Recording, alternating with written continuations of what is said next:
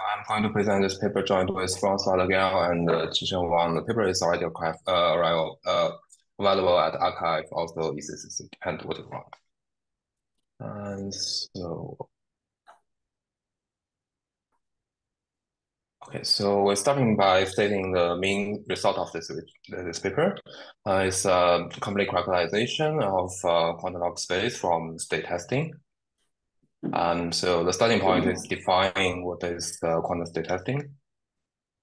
Uh, so the task is, um, okay, so here we'll talk about the two-sided error scenario. Uh, the task quantum state testing just given two quantum devices Q0 and Q1, and they are prepared like a polynomially many qubits uh, quantum mixed state, uh, rho 0 and rho 1. And also, uh, and this uh, state can be viewed as a sample accesses to like a copy of, you know, copy of, copy of the states. Um, we want to decide whether the distance of these two states is at most uh, epsilon 1 or at least epsilon 2. Uh, and uh, of course, that's a two-sided error version, and actually also uh, there is a one-sided error correspondent. Uh, so this is defined by uh, O'Donnell and John Wright, and I think uh, also O'Donnell students, so-called this quantum state certification problem. So the only difference is um, for the certification case, uh, we want to decide whether either the state is um, rho zero is exactly equal to one or the distance is at least uh, epsilon. And on the other hand, actually, there's a classical analog for this problem. Also, they call that closeness testing of distributions. So just uh, what we have is like a sample access to the probability distributions, D0 and D1. Basically, we just draw samples from these distributions. And then we want to decide the distance of these two distributions that are like uh, at most uh, epsilon 1 or at least epsilon 2.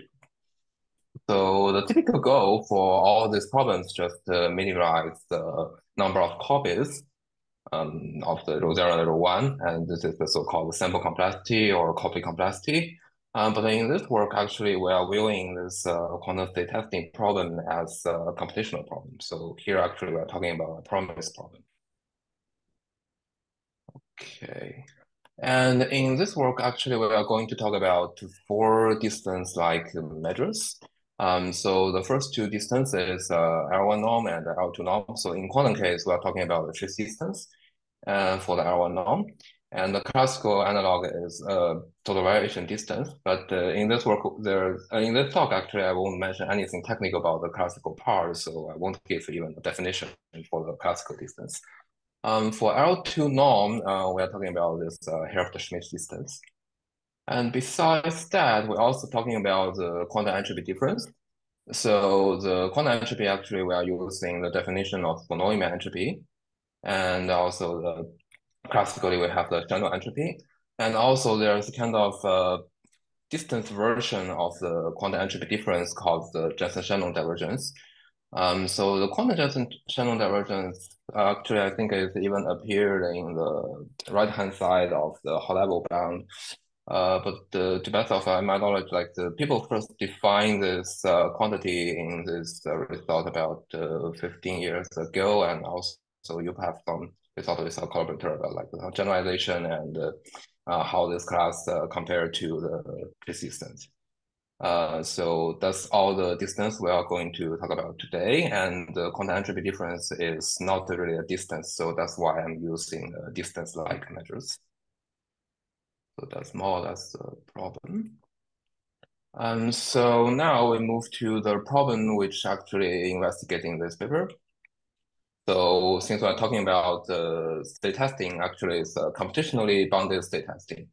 So here we're talking, uh, so here is a space-bounded quantum state certification. So we're starting by the one-sided arrow case. And so the, the, the problem just given to polynomial size quantum circuit, which there acts on logarithmic, logarithmic many quantum qubits. And the circuits that are preparing another, like preparing a quantum, uh, sorry, the logarithmic states, qubits quantum states are actually a mixed states.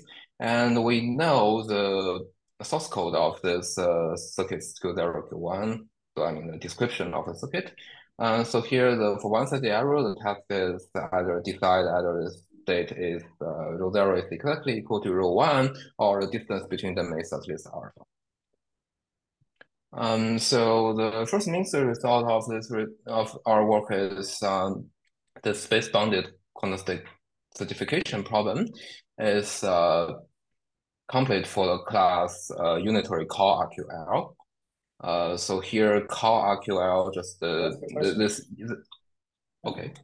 Yeah, uh, in this task, what, like what do you mean exactly with access to their source codes?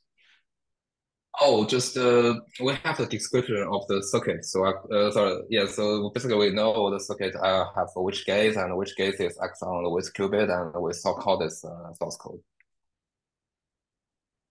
And who has exactly. access to that? Yeah. Okay. Oh, just uh, in the algorithm, actually, the description of the circuit is like is part of the problem. Yeah, I see. Okay. Okay. Fine. Uh, okay, so the class is, uh, so here this capital U just uh, saying that uh, this class only talking about uh, unitary. And uh, the RQL just, it's a one-sided version of the BQL, which is, uh, BQ, we know BQP is like for um, polytime quantum computation. So the, BQL is for log space quantum computation. And this co-RQL basically saying that we are focusing the case that we have perfect completeness so to be specific, the for this instance, it's accepted with probability one, and for no instance, it's accepted with probability at most half. And so we show that for this uh, space-bounded quantum state certification problem uh, regarding the trace distance and also the Hilbert-Schmidt distance, um, this problem is uh, complete. Is there any question? Yeah, why is it called like this? What's the RQUL? Oh, oh, I just uh, okay. Uh, so, so you um, okay. Uh, anyway, we will say a bit more about that later. But here the L just for log space, and this uh, strange U just saying that um, there is no intermediate measurement in the computation. There's only like a unitary case. And this co-RQL, this call and R, just you can think about it like just a requirement of like perfect completeness. Okay. There are other questions? Okay. Then we move to the second result. So actually, it's a two-sided arrow case. Uh, so so we have a similar, very similar space-bounded quantum state problem. Um, also, we have like the polynomial size quantum circuit, which is acts on logarithmic many qubits and uh, preparing to logarithmic many qubit uh, quantum states. And we know the description of the circuit, and we want to decide whether the distance, whether the distance is at most beta or at least alpha. Um, so for two-sided arrow, actually, we have two more distance-like measures. So well, so the this problem is uh, this family of problem is BQL complete, and uh, um, it's not not only works for the like the, for the shift distance and here for the Schmidt distance as as the one-sided arrow case. Uh, here also there is um, quantum entropy difference and also like the a distance version of the quantum entropy difference, namely the quantum Jensen-Shannon divergence. So that's more or less the main result. Uh, actually, there's a third main result about technique, but I will mention that later. Uh, any question? Yeah, okay. so so first of all, the, uh, in this task, uh, you limit it to be polynomial, the circuits to be polynomial size. Uh, yes. Is there any reason not to go deeper in depth or anything adding that? Because this only limits uh, the depth of the circuit, right? Because you already limit the number of qubits to be log n. Yes. Is there a specific reason why why this? Oh, the reason is uh, because we are talking about log space computation. Uh, then the input actually the, the computational model actually will have uh, kind of something like a Turing machine, just but it's a read-only tape, mm -hmm. and this tape is like a read-only, so and also supposed to be like a polylens. Okay so so then we define the circuit like has a polynomial size. That's like the easiest way to talking about this question. I think another answer is that every unitary on log and qubits yeah. can be implemented with poly and gates. Mm -hmm. Yeah, that's it. That's...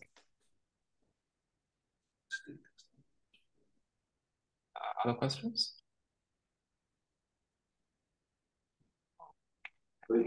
So, so stupid question, but BQL uh, is the same as this class before, but then with two-sided error. So uh, not exactly because for BQL actually you can do the intermediate measurements. Okay. And actually you can do something like even measure in the middle and discard the, the register which you just measured. Can you give a very short description of what BQL exactly is? So that I can... Uh, just log space quantum computation, but uh, the gate is not necessarily to be unitary gates. Uh, uh, it can be intermediate measurements, or you can even reset it to zero, something like that. And then with bounded error on both sides. Uh, yeah, yes, this was the bounded error for the both CS instance and no instance. Actually, well, I'm going to talk about the space-bounded quantum computation with ah, a bit more okay. detail.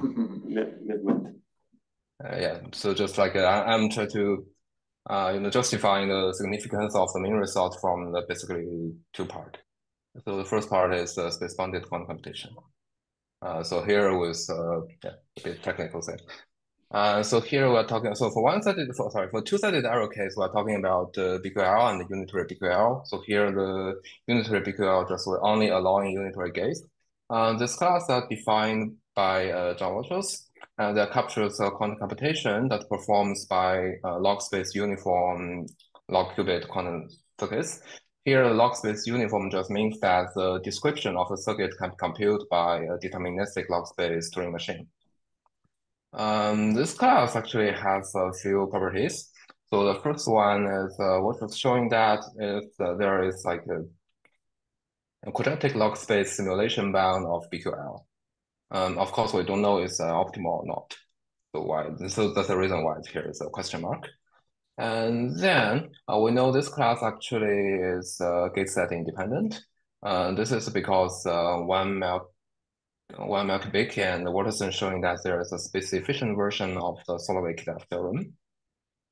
And also uh, for BQL, actually, because we can do the intermediate measurement and reset the, the qubit to be zeros, and it's easy to do the error reduction by sequential repetition. But however, for unitary BQL, the even error, error, error reduction for this class is not trivial. So actually, it's um, also to write a paper to do that. And at last is uh, there's a breakthrough by Fefferman and Remscrim um, two years ago. They're showing that actually allowing intermediate measurements or like a resetting qubit to be zero, all this type of thing, actually won't increase the power of the class BQL. So actually now the BQL and unitary BQL refer to the same class. Uh, but for you will see that in the next page for one-sided error case, actually we don't have that. So for one uh, for the one-sided error case, it's still like a, we don't know the different. We don't know whether they are same thing or not. So besides, and then besides the class itself, um, also there's I would like to say a little bit about the history of the known natural complete problem. Um, so the starting point is by Amnon Ta-Shma, which uh, the main focus of this paper is like investigating uh, inverting a well-conditional matrix is in BQL. And this task is only known to be in deterministic uh, square log space. Um, yes, for the classical case. So it, it can be seen, seen as like an example of the a classical simulation bound by Watrous. Uh, so here, actually, in Ta-Shma's construction, here we do need the intermediate measurements. Uh, but then five years later, Fefferman Lin, they showing that for the same problem, actually you can show it can be done by log-space quantum computation, but we don't need intermediate measurements. We only need unitary gates. And also they're showing the this problem is hard for the same class. Um, Okay, then, then in this result by Fefferman and Remscrim, they showing the equivalence of the case with and without uh, intermediate measurements by basically a, a sequence of uh, reductions. So then using this, uh, also we can see there's a family of the complete problem. So basically it's a well-conditioned version of the DET complete problem. They are all BQL completes. So like, the instance, like, it's like the, the well-conditioned integer determin determinant and a well-conditioned matrix powering, also well-conditioned iterative matrix step. And so the takeaway of this slide is um, so our second main result, the theorem 1.4, is showing that there's a new family of the nature BQL complete problem, and also it's uh, from the quantum state testing. So that's for the two-sided arrow case. Now we move to the one-sided arrow case, which is uh, even a bit more tricky. Uh, so this two class, unitary RQL and unitary co-RQL, is also defined by John Watrous, but the notation we are using here is taken from the Fefferman and Remscrim. And so basically the process captures a quantum, log space quantum computation with one-sided error. And this class have a few properties. So first, um, actually even when was first talking, uh, try to think about this class, there is error reduction for, for, these classes. And then um, because we are asking here the perfect completeness and perfect soundness, so actually we do have the gate dependence. So it's, it's actually the class is defined depend on the gate size which we are choosing. Um, the last thing is uh, Watrous first to talk about this problem is uh, because he showing that for this uh, undirected graph connectivity problem, and it is contained in unitary RQL cut unitary co-RQL. Uh, but nevertheless, this this uh, problem actually to be shown is in L by Omer Reingold uh, a few years later. Uh, so for this one-sided arrow case, the question is, uh, before I walk the question is, uh, first, we don't know any uh, nature complete problem uh, either for like the unitary case or the general case. Uh, so there's a verification version of, uh, so the Fefferman Remscrim showing that the verification version of the well-conditioned iterative matrix problem, and it's actually hard for the class. Uh, but still there is no containment. And of course, the containment is always a hard direction. Uh, on the other hand, is uh, we don't know whether this uh, intermediate measurements or like the reset qubit, all these options, all these non-unitary options will either make this class uh, stronger or not. So takeaway for this slide is um, our first main result is showing that the first uh, uh, complete nature complete first family of the nature complete problem for the class unitary co-RQL. Sorry, can I ask a stupid question? Uh, yes. RQUL is uh, one-sided error in the other direction, so you have to be sure whenever you're in the no case versus the go RQUL. Oh, for okay, so for call RQUL for yes instance, you have assessment acceptance probability one. For no Yes. instance, acceptance probability is at most at most half. Yes. And for RQUL, Uh, for RQUL, just I think uh, you have perfect soundness, so acceptance probability for no instance should be zero. And for yes instance, it should be like at least half, something like that. But of course, this uh, the choosing of half is doesn't matter because we have our reduction. You can replace anything. Yes. I think by inverse polynomial. Okay. Other question?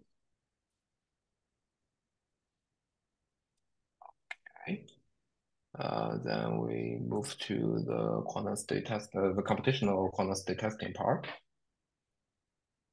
So basically, um, this work actually is uh, defined the space-bounded testing problem, but actually there's the previous work on time-bounded state test state testing problem, even they are not using this terminology. Um, so we first define this task, time, this task time-bounded quantum state testing. So here we are still like given two polynomial size quantum circuits, Q0 and Q1, and they are prepared like uh, polynomial many qubits uh, quantum mixes, and we have the description of the circuit. So we want to decide whether the distance of them is at, more, at most uh, beta or at least alpha. And of course, there's uh, classical correspondence, uh, this time-bounded distribution testing problem. So here just to give two efficiently samplable distribution. Uh, by efficiently samplable distribution, I mean actually we have uh, two polysize Boolean circuit and we feed with random bits. And the circuit have uh, will output some the other bits. And that's basically equivalent to draw samples from the distributions. And the question for the time-bounded distribution testing task is also decide whether the distance of the two distributions at most beta or at least alpha. Um, so for the classical case, actually, this problem is also referred to the statistical difference problem, which is uh, SZK complete. It's shown by Sahai Vadhan, and there's some tricky thing about the definition of the class. So actually, we need, uh, need to mention the other work by Sahai, and Vadhan. Um, but the issue is uh, uh, something kind of tiny issue is uh, the containment. The SZK containment here actually only works for uh, the parameter regime when alpha square is larger than beta. So it's not like the usual case, alpha is larger than beta, and the promise gap between them is the inverse polynomial. And quantumly, because the total variation distance have uh, the quantum analog of this is um, kind of well defined. So um, then what is showing is defined a similar thing, uh, quantum state distinguishability problem, just uh, like task 3.1 with distance, and it's showing that this thing, uh, this problem is uh, complete. And of, of course, the QSZK containment is uh, only holds for, for the same, same regime because they are using more or less a very similar technique. Uh, so actually, it's even an open problem that for the um, nature regime, like the alpha and the beta is uh, polynomially separated, whether this thing is uh, this uh, parameter regime for the for the classical case is STP, whether it's in SZK, or the quantum case like QSTP is in QSZK. Uh, so there's some recent progress by Berman et al. like a few years ago. Um, they're basically showing that the the constant the requirement of like the constant can be uh, like the the gap between alpha square and the beta can be made like inverse poly, um, but still we cannot make too much for that. Uh, that's for the classical case. And also I have a recent work showing something, try to do something similar uh, for the quantum work, uh, for the quantum problem, but actually we only can get something slightly worse. And besides that, there's something I need to say about the, this class QSZK. So first is um, contained in the class PQP. Uh, sorry, it contains the class BQP and it's contained in the class QIP2. It's shown by Watrous. So basically, uh, basically we believe that like the QSZK seems uh, harder than the class QSZK. Uh, sorry, is harder than class PQP. And then there's oracle separation result regarding, uh, originally regarding SZK and PP, but uh, actually it also works, I think it also works for QSZK and PP by Bouland et al. So that's for the time-bounded state testing problem regarding the R1 norm. Uh, then we move to the R2 norm case. Uh, so actually R2 norm case is does not draw too many attention before. Um, so we can define this time-bounded uh, quantum state testing problem regarding the Hilbert-Schmidt distance. And actually, this problem is uh, BQP complete. It's kind of a folklore result. Uh, so the containment actually is fairly easy because uh, the Hilbert-Schmidt distance can be written as the sum over three terms. So these three terms such as trace of rho zero square, trace of rho one square, and trace of rho zero times rho one, they all can be estimated by the swap test uh, proposed by Ronald and Harry and uh, others. Um, so then, uh, basically we have a very easy algorithm just to we just first toss two random coins, R0 and R1. Then depends on the result of R0 and R1, we perform the swap test on the corresponding state. And then at the end of the day, this algorithm is accepted with probability is exactly the Hilbert distance. So that's for the containment. So the for the harness, uh, we are using this uh, gadget from the result by Mark Weld and uh, his collaborators. Um, uh, still, it's kind of uh, it's not something too complicated. Uh, so just the, construction is considering uh, BQP circuit CX Then we construct a new circuit Cx prime, which just first applying Cx, then applying X on the original output qubit. Um, then applying a CNOT, which is controlled by the original output qubit, and uh, the target is on a new flag qubit in, initialized by zero.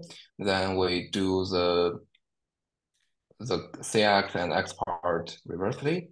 And at the end of the day, we measure all the qubits on the computational basis, and we say this uh, new circuit C prime X accept uh, if all the measurement outcomes are zero. So by a by some calculation, we can see uh, the acceptance probability of Cx prime actually is the square of the acceptance probability of Cx.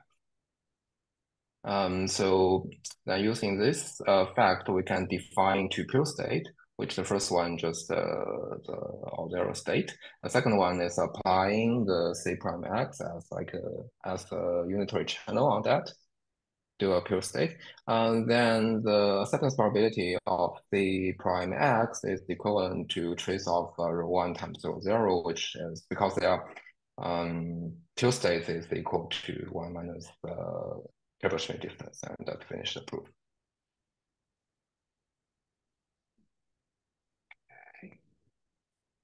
Okay. Uh, so until now, uh, I'm basically explaining like the for the time-bounded state testing problem regarding the L1 norm and L2 norm. Uh, so something that's a bit interesting is uh, this thing there is kind of a economic theorem. Uh, I'm, I'm saying that because like for the time-bounded state testing problem regarding L1 norm, actually also for the entropy difference, um, they are QSZK complete, uh, which is similarly much harder than just preparing a state, which is something in BQP. But on the other hand, if we're talking about the L2 norm, then this problem is competition computationally as easy as just preparing the state. Uh, so one possible explanation is that it may be linked to the dependence of the sample complexity for the distribution testing and the state testing problem. Uh, I mean, for for the L1 norm case and also entropy difference case, uh, whether whatever the classical problem or the quantum problem, the sample complexity actually is uh, polynomially depend on the dimension of the distribution or the state. So it's polynomially depend on n. And on the other hand, for the L1, uh, for, for the L2 norm, it only depends on the error parameter. Uh, that's basically what I'm saying for the time-bounded uh, testing problem. Uh, so now I'm going to summarize uh, everything together. It's just uh, the time-bounded problem, also the space-bounded problem. So for the time-bounded problem, uh, in a classical case, um, uh, the for the L something like the L1 norm and entropy difference, they are SZK complete. Uh, here is a star because the containment is not host, it not host for all the regimes. And for L2 is like a BPP couplet. It's just like prepare the state and uh, basically more or less the same thing in quantum world. However, for the space bounded case, uh, actually there's no result. Uh, to best of our knowledge, there's no result about classical space bounded distribution testing problem. And we define, we first define this, uh, the quantum case, uh, the space bounded quantum testing problem. And uh, for L1 norm and entropy is actually for all this thing is a BQL complete, which is uh, kind of surprising because like uh, in the time bounded case, actually is de is depend on the uh, the chosen the choice of the, the distance. And for the classical space bounded uh, problem, um, actually we still can say something. Uh, first, actually, the the big the BP the BPL hardness for all these three distance-like measures, actually, they are not too hard to show. Um, but on the on the other hand, a space-bounded distribution testing can be viewed as a white box version of the streaming distribution testing problem with RID samples. So basically, if we because we know the devices to to draw samples, basically we can draw the samples by the device and and that can simulate the, the RID samples. Then using this fact, actually, um, we can see that for the L2 norm, this problem is BPL complete, and for entropy difference, there is some recent work on streaming distribution testing will imply that uh, this problem is also in BPL, but uh, we don't know uh, to best of our, our knowledge, actually, I think we don't know any BPL complement yet. So that's more or less about this part. Any questions?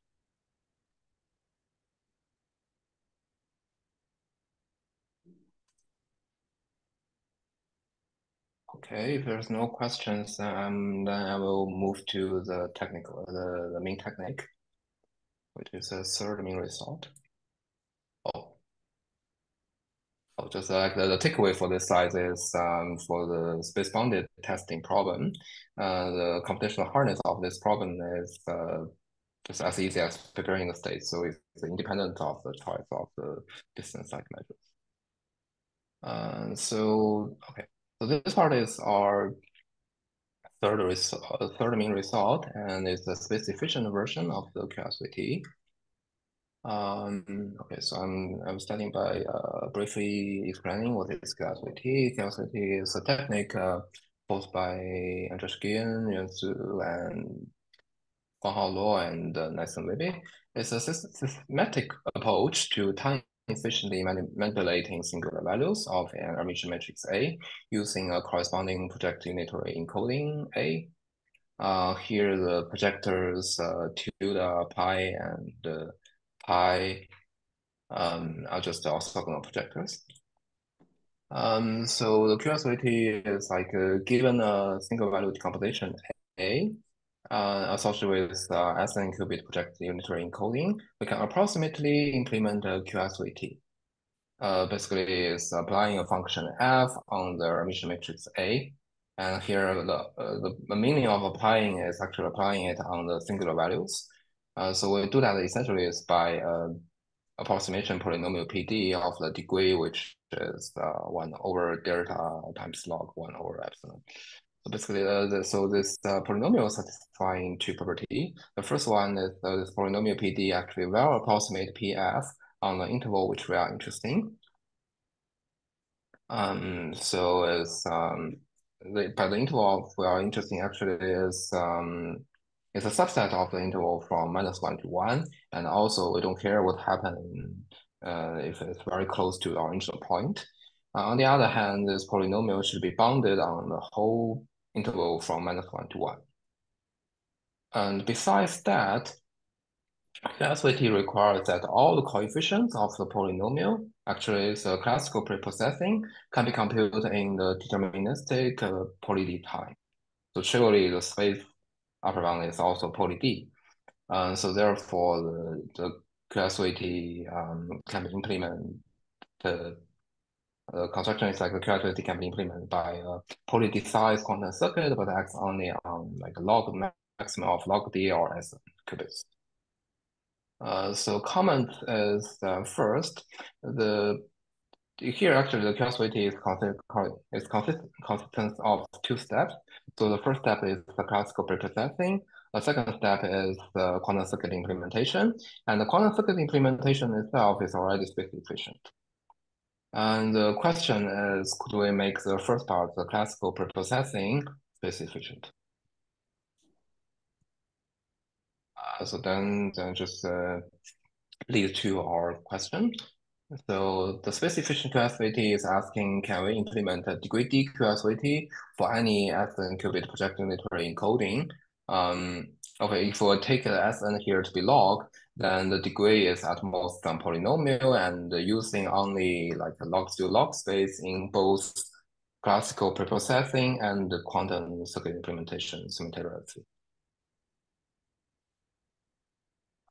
Um, so fortunately, actually, there are some partial solution, very recent partial, partial solution by there is by the paper by Metger and Yuen.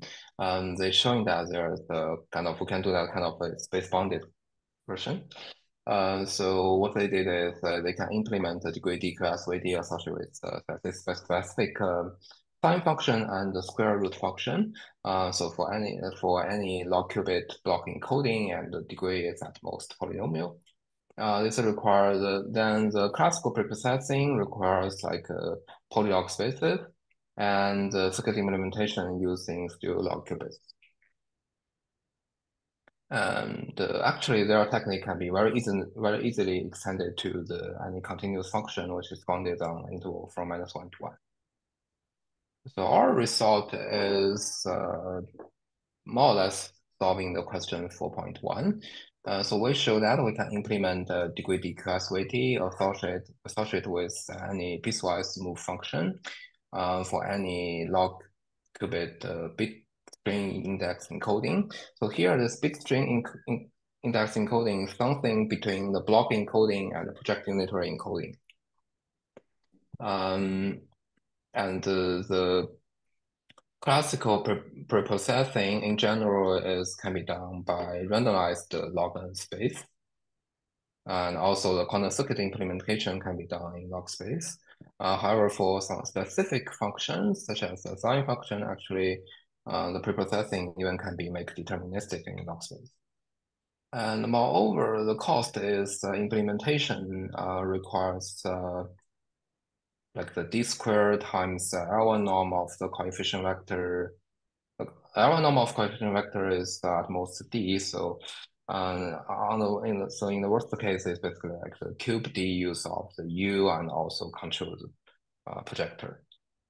So here the this vector c just the, the coefficient of the Chebyshev interpolation polynomial.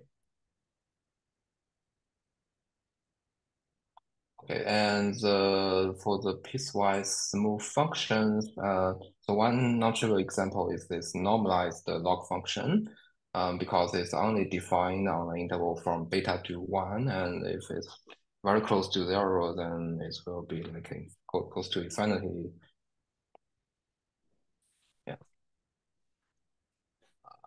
So any questions, or maybe I lost most of the people.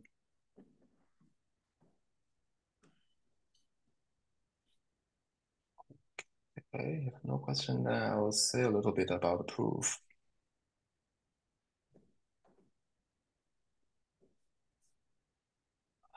Um, so, okay, so here is the sketch of the proof.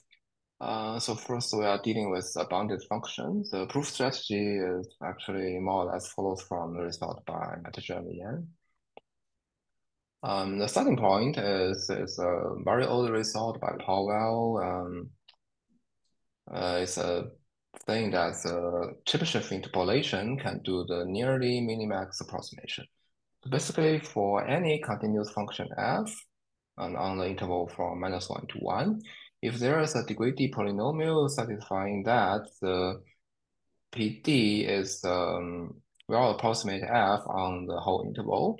Then we have a Chebyshev interpolation polynomial, which is a linear combination of uh, Chebyshev polynomial of the first kind such that the error between this uh, hat PD and F is at most uh, epsilon log D.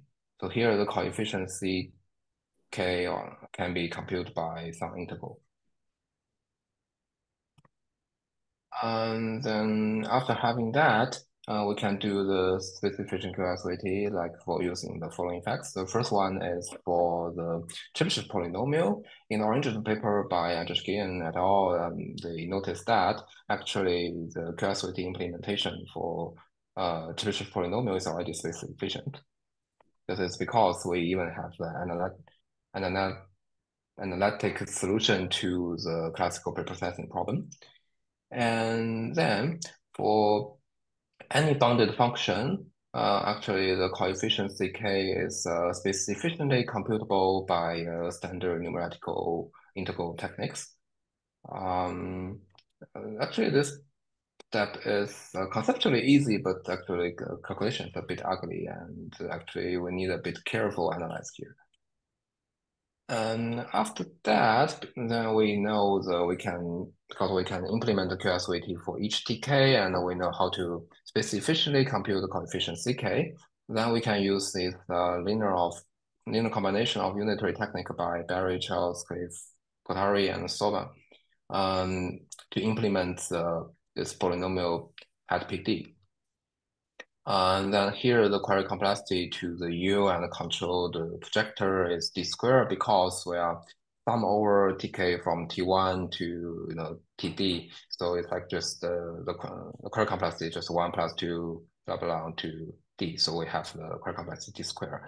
And the issue is um, the, the encoding we have for the hat PD acts on the this uh, tilde pi u pi is an operator norm of this is at most uh, the L1 norm of the coefficient vector, which is uh, usually larger than one. Um, so actually to do QSVT, we need to make sure that operator norm of this thing is at most one. So there's additional step to renormalizing the resulting encoding.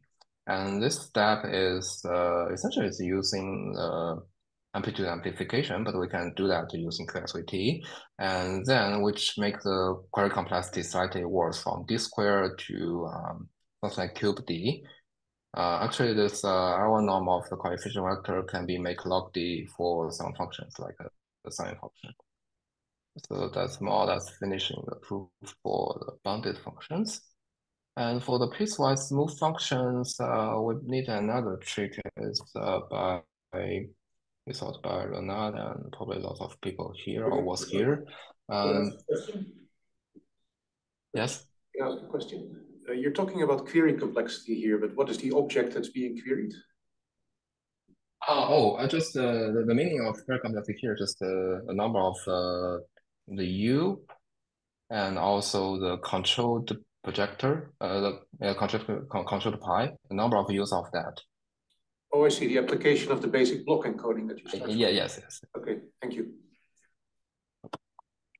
And so their technique is using the, I think it's a low degree polynomial or something to, anyway, it's uh, just a just uh, like a reduction from the piecewise smooth functions to the linear combination of uh, bounded functions. So still the the main challenge actually the the quick uh, like the the crucial part is to compute the coefficient in this uh, linear combination. And turns out we can do that, we can reduce this problem to the stochastic matrix powering problem. So basically means that we can uh, estimate its coefficients by random walk in log space. And this problem, stochastic matrix powering problem is uh, essential for BPL versus L problem. Uh, because starting from Saks-Zhou, uh, they use that to showing that BPL, BPL is equal to L, and also this uh, recent result by Ta-Shma, Cohen, and others. Um, and to uh, additional remark is actually trivially for this problem, if we want to do that deterministically, then we only can do that in NC2. Yeah, so I think that's more or less uh, for technique. Any questions? Okay, good. Uh, so now basically I'm explaining the three main result of this work. Then, uh, then I'm going to use the, the mean proof technique to show the mean result actually only for the distance. Uh, we're starting by the two-sided error scenario, namely the space-bounded quantum state uh, testing problem for with respect to the trace distance. Uh, so our construction is in, inspired by the approach uh, in Gilyén, Poremba, and also uh, my collaborators Wang and uh, Zhang. Um, so we have a approximation polynomial P sign D for the sign function.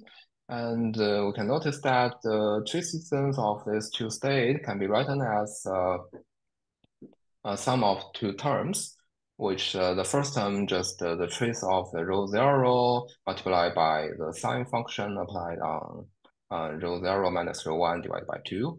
And we can define something similar regarding rho one, and the difference between them is uh, essentially the trace distance.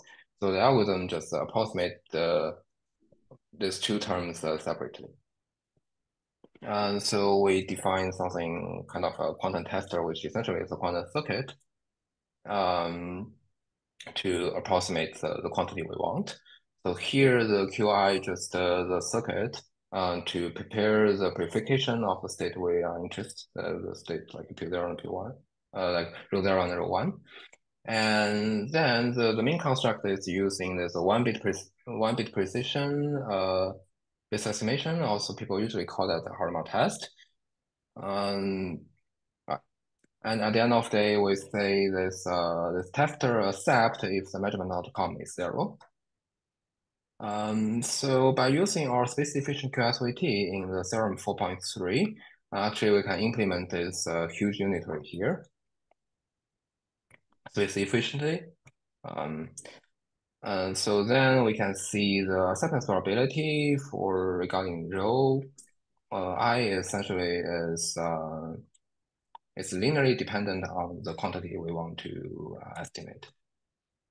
And so therefore it's um, for i is either one or zero, we, it suffices to estimate this quantity with uh, additive error uh, with high probability using like a one over epsilon square sequential repetition. Uh, this is because like uh, we know like unitary, uh, right? Uh, this is because the sequential repetition actually we are doing the basically we are resetting area all the working qubit to be zero after each iteration, so we can do that again. Uh, that's the proof for the two-sided error case. Uh, then move to the one-sided error case.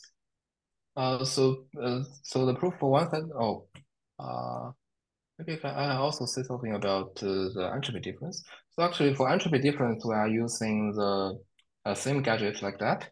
Uh, just uh, here, just the U here actually is not using the poly polynomial of line function. We are using the polynomial of the normalized log function. Then we can do something uh, very similar. Okay, now we move to the one-sided error case. To do one-sided error case, uh, we are still using this uh, this tester T. We just defined in the previous slides. And then we need to achieving the perfect completeness by some standard technique. Uh, so the key observation is um, we noticed that our space efficient QSVT in theorem 4.3 preserves the parity, which means that uh, the QSVT implementation associated with uh, the hard PD sign function satisfying that uh, if we feed the zero operator to the QSVT implementation, then we'll get a zero operator. Um, this observation will enable enables us to construct the, the algorithm we want. Um, so the algorithm is supposed to satisfy like for yes instance, if rho zero is equal to rho one, then uh, the tester is a set with probability exactly half. Um, then the algorithm A here just uh, using an exact amplification to make sure uh, we accept with probability with uh, probability one. And uh, a bit tricky thing is for no instance. Uh, so for no instance, we are guaranteed that the distance between rho zero and rho one is at least alpha. And then we can see that the acceptance probability of the tester T um, is actually alpha far from half. And then by uh, direct, still a bit complicated complication calculation, we can see that uh, the algorithm accepts with probability at most 1 minus uh, alpha squared. Uh, of course, for now, of course, until now, the algorithm A we have have a promise gap which was polynomial, but we can make the gap to be constant by the error reduction for the unitary co-RQL. And uh, this error reduction also can be done by our specific class and that's the finished proof. So any questions?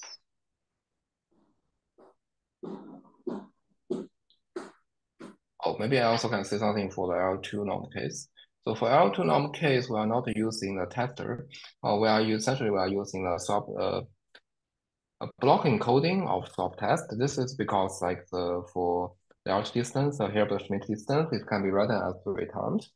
Uh, so basically, basically that define the block encoding. Then we can do some something similar like that.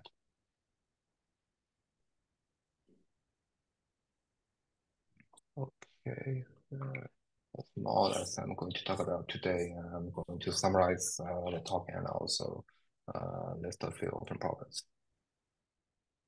Um, so for so take home message for this talk is um, uh, first, uh, space-bounded quantum certification problem with respect to the trace distance and Hilbert-Schmidt distance, they are unitary co-RQL complete which is the first family of the initial complete problem for this class. And on the other hand, if we are additionally allowing two-sided error, then we can show this problem is BQL complete for uh, uh, two more distance-like measures. So the space-bounded quantum testing problem uh, with regard to uh, distance and uh, also the entropy difference and the Jensen-Shannon divergence, they are all BQL complete.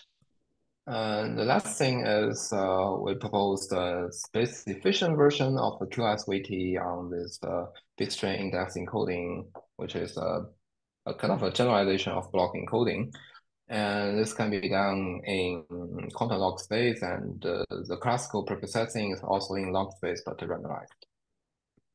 And then there are a few open problems. Uh, so the first open question is a bit technical. It's about the efficient QSVT. Uh, one thing is like the, the query complexity here is like a, a cube d or like d squared times log d, depends on which function we're talking about. But usually this uh, query complexity is just d. So could we make this d also efficiently? And another question is uh, our, our classical preprocessing for any uh, piecewise smooth function is um, is randomized.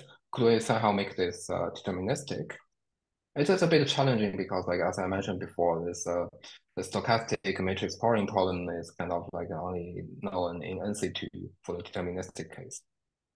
Uh, the second question is, uh, since we talk about a lot of uh, distance-like measures here, uh, maybe we can say something even more general. For instance, like for some proper quantum analog of uh, symmetry F divergence.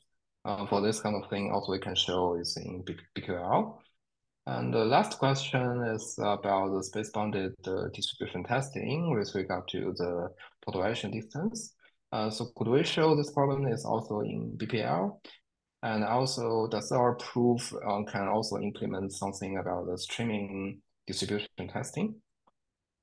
So that's I'm going to what I'm talking about today.